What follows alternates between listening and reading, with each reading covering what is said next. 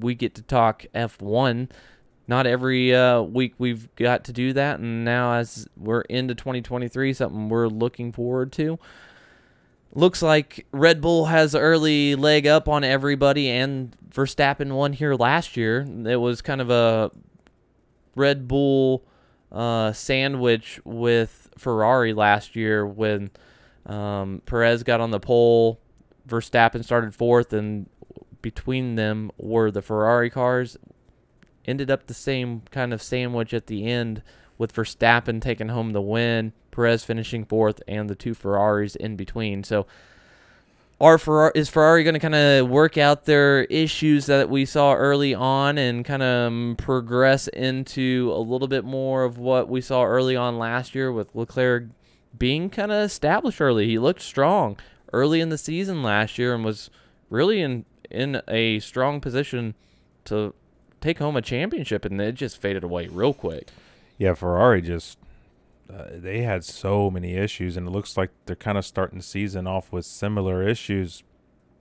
I don't know if we're gonna get another solid fight. I think really it's it's it's hard. It's it blows my mind to say this, but yeah, after one race, it's it looks like Red Bull's championship to lose um, in both the drivers and the constructors.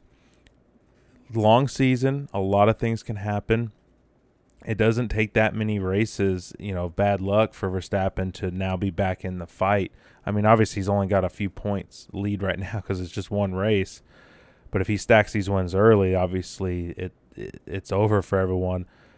I, it'll be interesting to see if, if Mercedes or anybody else can maybe Aston Martin. If Aston they can, Martin looks strong. I'm excited to see if Alonso can step up because we need some more added teams to the mix to make this a more exciting week to week bouncing back and forth. That's what I'm here for. I want to see uh, not one team dominate. We can we can do that whenever we want. It's just being able to see that back and forth, the dramatics of it play out across the globe every week. That's what a lot of people tuned in for. And I think it's there. We saw that progression from Aston Martin last week. Is it continue?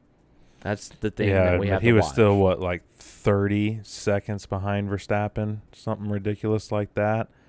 Uh, we'll see if that's going to be par for the course. It's just one race. You can't say that that's how everything's going to be, but that's certainly how. And Friday we get fir- or P1 and P2, so we'll get to see some practice and get to understand a little bit more of the dynamics heading into this race, how everybody kind of shakes out, and then Saturday I think practice, the third practice takes place in qualifying. So still a lot to unfold and unpack before we really understand who's laying where, but the season's here. Yeah, and, We're and they had a whole week, an extra week to be able to work on these cars, get them kind of dialed in, make some changes. So I do think that this race, not only with it just being a totally different type of circuit, uh, it will. We won't see the same sort of things. We will see some teams who improved. Uh, hopefully, McLaren would be one of those teams because they had an awful showing uh, to start the season. But really, it's so early. It's it's truly too early to make solid predictions right now because a lot can change during the course of an F1 season. Um, hopefully, for some of these teams, that happens really soon because they do not look good. If you like that clip, check out the full audio version of that episode on all the major podcasting platforms. If videos are more your thing, check out the full episode on losinggrippodcast.com.